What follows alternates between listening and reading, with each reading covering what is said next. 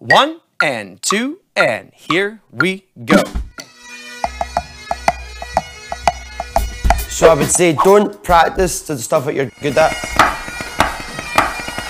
You know, he just kind of took me on as a little seven-year-old kid, and you know, we started with the basics, started with rhythm.